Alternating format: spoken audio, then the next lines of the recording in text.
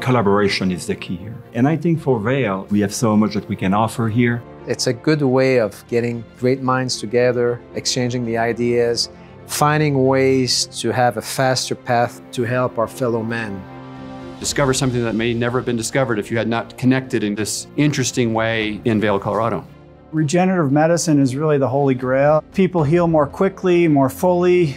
Diseases of aging can be battled by actually thinking of aging as a disease itself. The more questions you ask, the more questions you create. But that's what keeps driving us forward. Such an exciting mix of people who are interested in this topic, but bring very different expertise to it. Because of the cross-disciplinary diversity, really gives you those opportunities to ask questions. These brilliant surgeons work closely with them to facilitate the translation to the clinic. It's truly unbelievable to have some of the greatest minds in our area scientifically who are here to present. These kinds of meetings are always an opportunity to develop collaborations. A meeting like this, you have everybody in the same room, and we all think differently. As soon as you go outside of your comfort zone, that's really what makes it so special.